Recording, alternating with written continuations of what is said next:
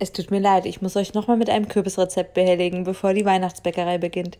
Hier ein richtiges Sattmacherblech und es geht so verdammt einfach. Das Feste der Kokosmilch mit Sojasauce und Gewürzen vermengen, Kürbis und Schupfnudeln unterheben und Käse darüber streuen. Ich hatte leider nur noch sehr wenig Käse da, aber es war völlig ausreichend. Wer sich jetzt fragt, den Hokkaido dürft ihr ruhig mit Schale verwenden. Die wird beim Backen schön weich. Viel Spaß beim Nachkreieren.